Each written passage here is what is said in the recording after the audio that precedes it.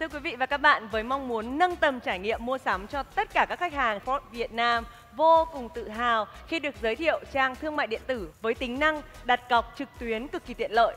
Đầu tiên là truy cập vào trang web wow. có tên miền là ford.com.vn. Sau đó thì các bạn sẽ chọn mẫu xe mà mình muốn mua.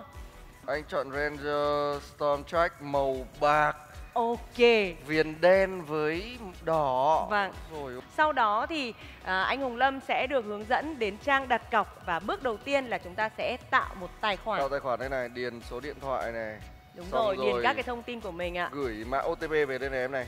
Đấy, có tài khoản xong đăng nhập một phát vào là dễ nói chung là dễ. đúng là tín đồ mua sắm online ạ. Thì đúng rồi. Và để tiện giao nhận xe thì chúng ta sẽ chọn đại lý dựa theo tỉnh thành mà chúng ta muốn mua xe.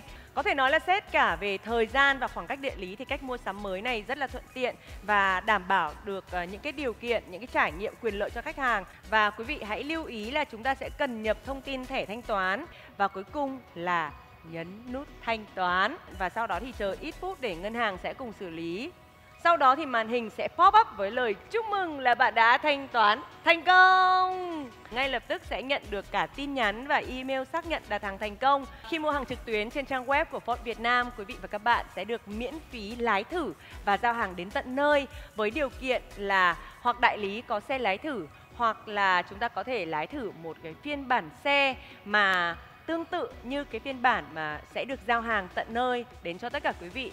À, những cái điều này thì sẽ được trao đổi thỏa thuận chi tiết giữa khách hàng và đại lý của Ford. Hơn thế nữa thì đối với dòng xe Everest Platinum và Ranger Stormtrack, khách hàng sẽ được cập nhật thời gian giao hàng rất minh bạch và dễ theo dõi tiến độ giao hàng.